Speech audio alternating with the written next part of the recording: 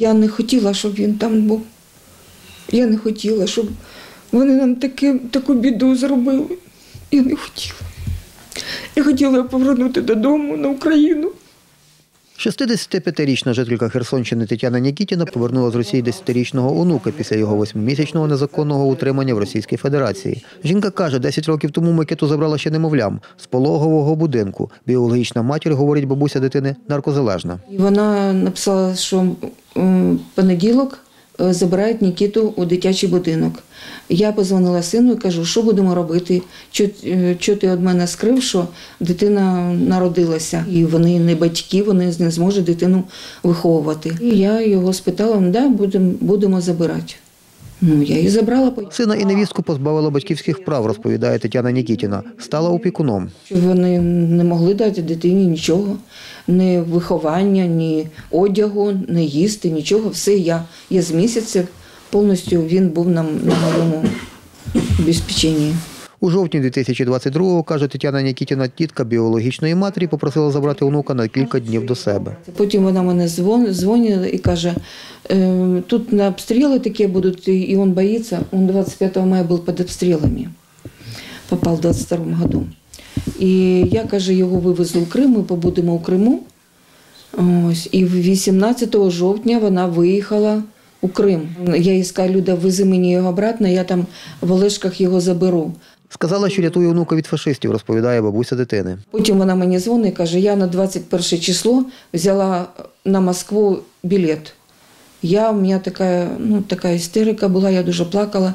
Я говорю, не треба, вези мені Нікіту обратно, вона нікуди його везти не буде, я вже білет взяла, там йде війна, ти що не розумієш, що там фашисти, там нацисти, я його подальше від всього везу. І повезла його до моєї дочки. Микита Нікітін каже, у тітки у Московській області йому не сподобалося. В Росії ну, у мене там один брат і дві сестри було.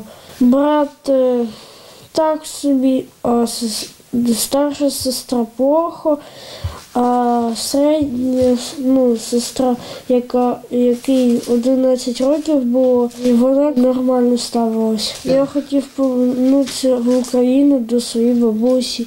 У Росії Микиту хотіли віддати в інтернат, говорить Тетяна Нікітіна. Оце у мене закінчиться опікунство над ним, на півгода її дали. Я його віддам ілі в кадетське училище, е, ілі в інтернат. Я плакала, поки його не забрала.